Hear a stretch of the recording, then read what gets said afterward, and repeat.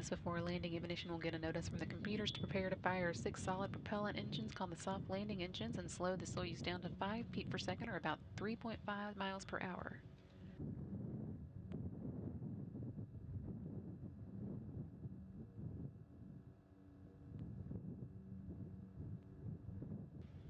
And you can see Soyuz has now touched down in Kazakhstan, 9.54 p.m. Central Time.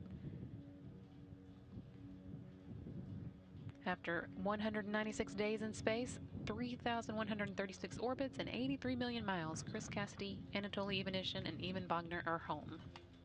Overnight, a quick overnight in Zhezkazgan, which has been a familiar landing uh, staging city.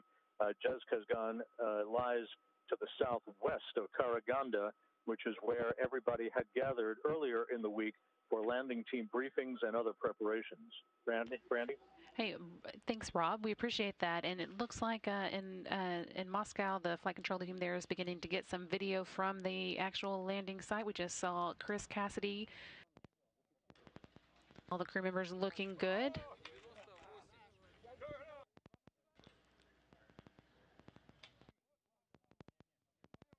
Out. The landing occurring one hour and three minutes after sunrise, and and Ivanishin there being the first to move off towards the medical tent.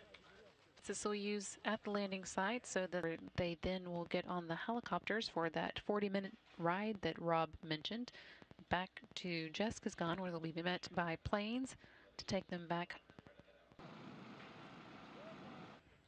Chris Cassidy, it looks like uh, making a, a phone call back to home and now on his way to the tent as well.